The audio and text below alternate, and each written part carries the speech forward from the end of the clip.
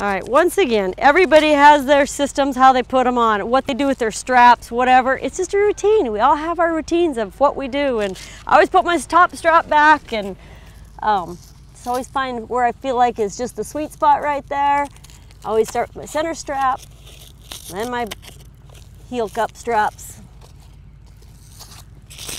and my top strap. Okay? Going back and being able to readjust them. There we go.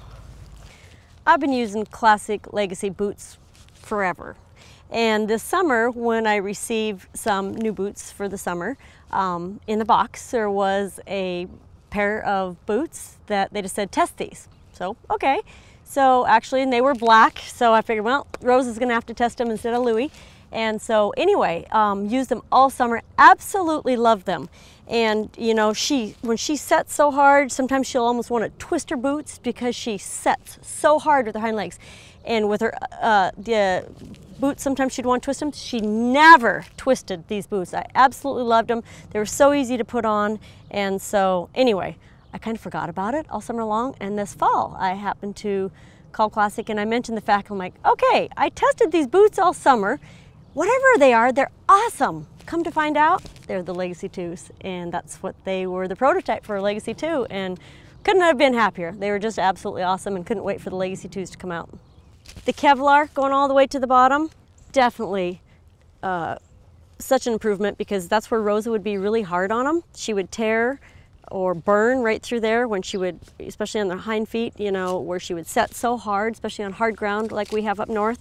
And so the fact that the Kevlar goes all the way to the bottom, huge improvement.